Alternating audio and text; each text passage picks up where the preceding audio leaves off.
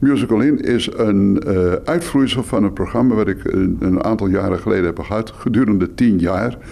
En dat deed ik oorspronkelijk in de Meent. Maar daar op een gegeven ogenblik is door Cardanus de stekker eruit getrokken. En toen moest ik helaas stoppen. En nu doe ik het nog één keer per jaar.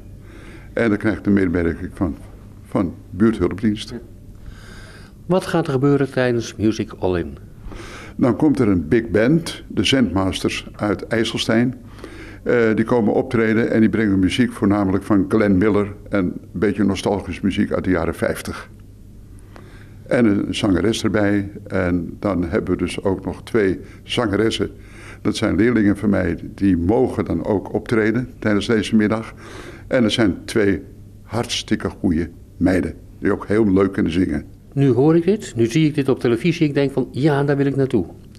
Hoe kan dat? Ze kunnen zich melden bij de buurthulpdienst. En ook aan de zaal zijn er nog kaarten te verkrijgen. Ze kunnen ook het Noordam Centrum bellen en uh, kaarten reserveren. Dat kan in ieder geval. Dat betreft de kaarten. Als ik niet zo mobiel ben en daar naartoe wil, wat moet ik doen om vervoer daar naartoe te krijgen? Dat is de buurthulpdienst bellen. Die verleent daar de bemiddeling in.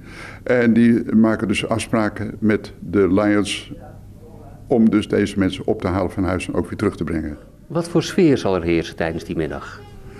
Uh, een beetje, ik hoop een beetje nostalgisch. Een, herkenning van de melodie die gespeeld uh, gaan worden.